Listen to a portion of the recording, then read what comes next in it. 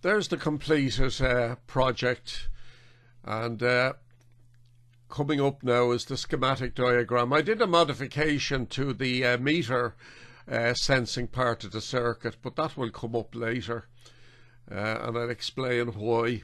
I first of all set up a rough guide of the wiring and the component uh, placement I was going to etch a PCB, but it was such a small PCB that I just gouged it out with a hacksaw blade and a, a Stanley knife. So there's the uh, uh, the offcut, and uh, here's the uh, six insulated islands for the components, the resistors, the capacitors, and the diode. So uh, they were soldered up, and there's the final. Uh, I, I, you, you might notice I use a 1200 ohm instead of a 1k uh, resistor, but that's not a big deal. There's the completed uh, project, uh, the box top and bottom, and uh, everything fitted in nicely. Once again, a photograph of the of the completed project.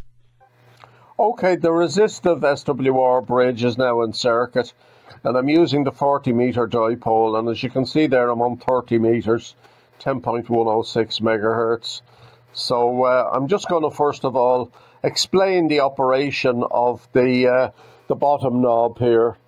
Uh, is a three position the first position sets the full scale deflection of the meter uh, using the uh, the variable resistor. So the idea is in position one to get full scale deflection. Position two then is monitoring the current SWR situation and uh, then you can adjust the uh, ATU to get the SWR down as low as possible. And then when you're happy enough with that, you switch to position three, which bypasses the uh, the bridge. So I'm going to send out a carrier here on uh, on 30 meters and uh, we'll go through that procedure with the eight, with the antenna connected directly uh, not going through the uh, the circuits inside the ATU so here goes.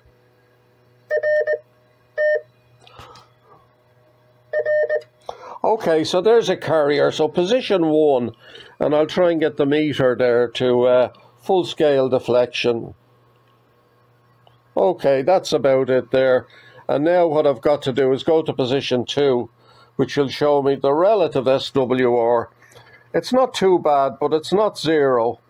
So uh, that's with the end, uh, with the 40 meter dipole going directly. Now I'm going to go through the ATU and adjust for better SWR.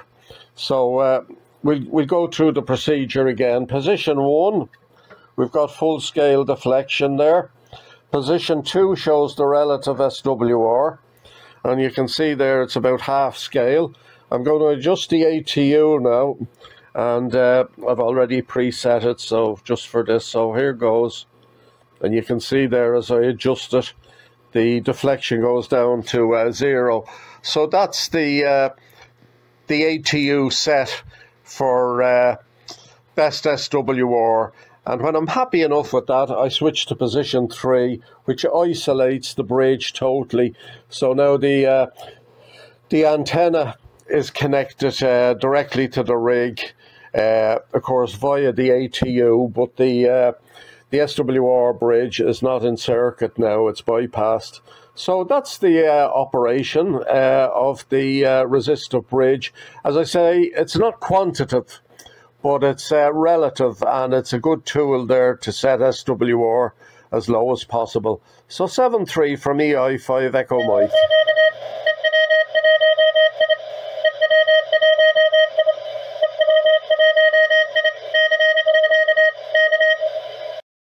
I made two modifications to the original circuit as per the schematic.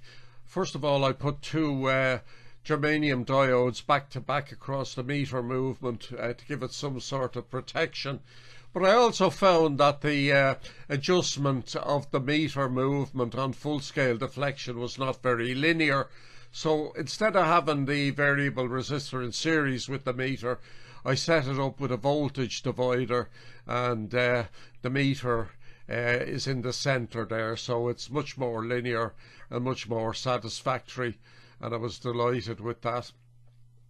I haven't given a, given a description uh, of how the circuit works. It's basically a, a voltage uh, measurement, and there's uh, the description there from the uh, from the authors, and that's also available on the website, uh, which is included in the uh, upcoming. credits at the end of the video. So 7 3 from Echo India 5 Echo Mike. Thank you.